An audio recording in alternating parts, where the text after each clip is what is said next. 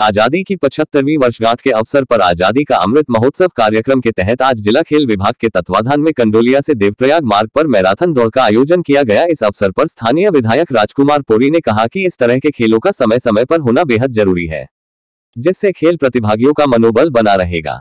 कहा कि इस तरह के खेलों से ही स्थानीय खेल प्रतिभागी बड़े बड़े मंचों पर अपना बेहतर हुनर दिखाते हैं।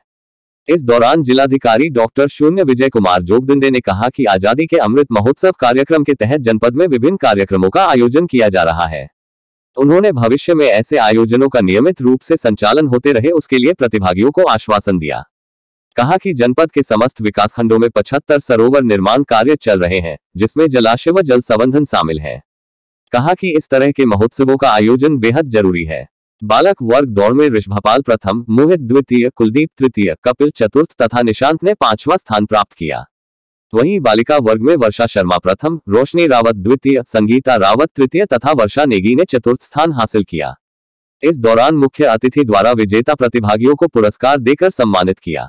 आज़ादी के अमृत महोत्सव के अवसर पर जनपद में विभिन्न कार्यक्रमों का आयोजन किया जा रहा है। जनपद में खेल विभाग के द्वारा आज एक दौड़ का आयोजन किया गया है। इसमें माननीय विधायक श्री राजकुमार पौड़ी जी के हाथों से शुभारंभ किया गया। और इस दौड़ में दो वर्गों में प्रतियोगिता आयोजित की गई है, वह पुरुष वर्ग और महिला वर्ग।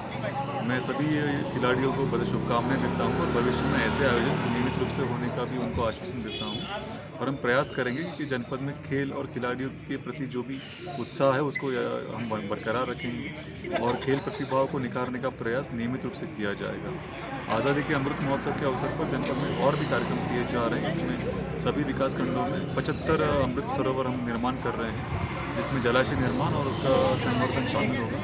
इसके साथ साथ में अन्य विभिन्न कार्यक्रम जो है, योगा दिवस का भी आयोजन किया जाएगा, जो इक्कीस जून को किया जाएगा। तो हम लोग प्रयास कर रहे हैं कि इस वर्ष विभिन्न कार्यक्रम नियमित रूप से किए जाए और आज़ादी का जो अमृत महोत्सव का जो पर्व है, ये यादगार पर्व रूप में आगे भी उभर के सामने धन्यवाद।